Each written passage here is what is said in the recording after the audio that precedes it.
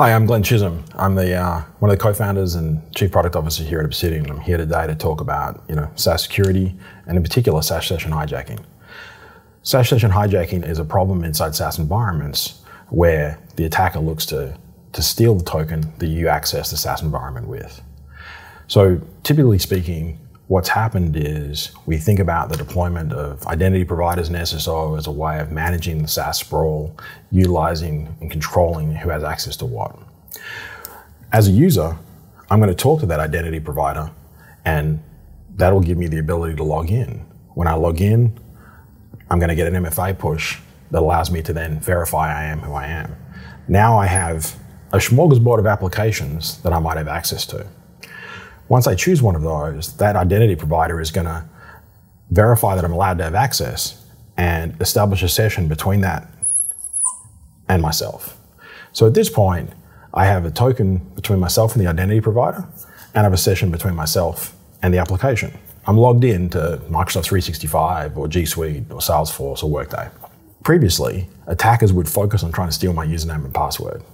But now we have MFA, single sign on, it's become less valuable for the attacker trying to steal username and password. So what they start to think about is how they can gain access to this environment with the least effort possible. So by stealing the session token that exists in one of these two environments, I can access the environment as if I was the validated user. So I may do that by trying to install malware down here on this user device. If I can install malware on that device or insert something into the browser, I can steal the session token directly from the endpoint. I can steal all their tokens. Then I can reuse them. Also, I can focus on phishing this user. I can convince this user to talk through a proxy that I control to that identity provider and allow me to steal the token.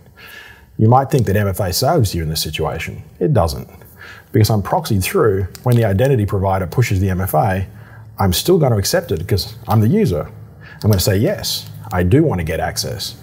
But now that session travels through the attacker's infrastructure and gives me access to the entire environment.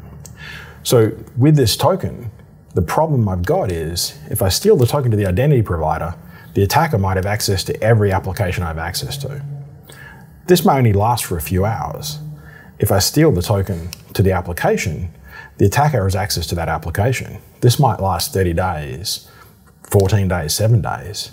It allows the attacker to be inside the environment, to be able to maintain their access, and to avoid all the complications of MFA and SSO. Obsidian understands your entire environment. It understands who accesses what, from where, when, it builds an understanding through a large graph structure that represents your organization. Once it has that, we can build models to allow us to detect things like session hijacking, token theft, and token reuse, and make sure that this attack is never successful in your environment. Thanks for watching. If you want to learn more, please take a look at our website, obsidiansecurity.com.